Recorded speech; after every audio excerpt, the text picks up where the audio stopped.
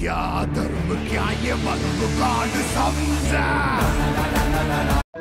कई बार लगता है हार मान लूँ, फिर याद आता है, अभी तो कई लोगों को गलत साबित करना है।